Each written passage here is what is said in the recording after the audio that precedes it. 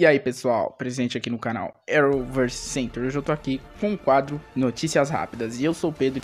Então vamos começar, mas antes deixa seu like, se inscreve no canal e ativa o sininho. Então vamos lá. Galera, o ator que faz o Homem Elástico, Hartley Sayer, foi demitido. O Ralph, mano, o Ralph de The Flash foi demitido após comentários racistas em tweets antigos. E não foi só racista, foi muitos comentários impróprios que ele fez lá que não não vale citar aqui, né? Não convém.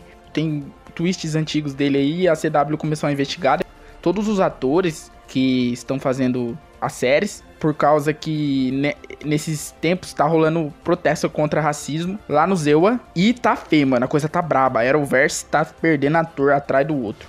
Eu vou dar a minha opinião aqui, que é o quê? Mano, ele errou, errou, mas todo ser humano erra, quem sabe? Ele pode se redimir. Porque, tipo assim, na série eu nunca vi, eu nunca vi um outro ator reclamar que sofreu racismo dele, só é, tweets antigos mesmo. E não faz, e faz tempo, né, mano? É uma coisa do passado. Vamos ver, né, se a CW vai dar uma nova chance ou é adeus ao Homem Elástico. Adeus. Vamos fazer igual. Nossa. Mano, o Arrowverse tá, tá perdendo muitos atores. É, alguns são demitidos, outros saem por conta própria. E tá difícil, mano. Então, é nóis, deixa o seu like, né? É uma triste notícia para quem é fã dele. Mas fazer o que? A verdade tem que ser dita. Ele foi errado, ele tá errado, então ele merece ser punido. Mas vamos ver se ele vai se redimir, se vai dar certo. Tamo junto. Valeu, falou.